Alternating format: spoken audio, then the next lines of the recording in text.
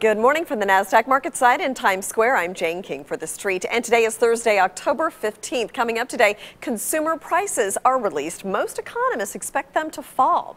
Well, the New York Fed's Dudley participates in a roundtable on how the Fed should decide what to do with interest rates. And American farmland prices 12 million shares at an average of $9.50 each. Well, there is lots of action going on in the IPO market today. First Data, which is going public today, priced its IPO at $16 per share. That was beneath the expected range of 18 to 20. It will sell 160 million shares, so it looks like the payments processing company will raise 2.56 billion in its flotation. That does make it the largest IPO of this year. And that pricing news comes directly on the heels of Square, a competing payments company which revealed its IPO filing after the closing bell.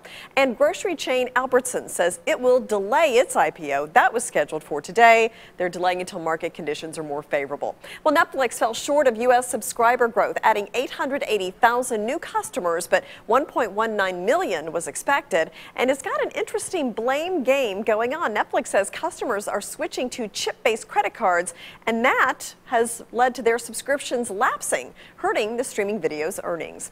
And managed healthcare company United Health reported earnings that were essentially flat compared to last year. Third quarter earnings were 1.597 billion, $1.65 a share. That's compared with 1.6 billion or 163 a share in the same quarter a year ago. The results were overall better than expected. And that is a wrap for us. But be sure to track breaking news and analysis all day at thestreet.com, at the NASDAQ market site in Times Square. I'm Jane King for The Street. Have a great day.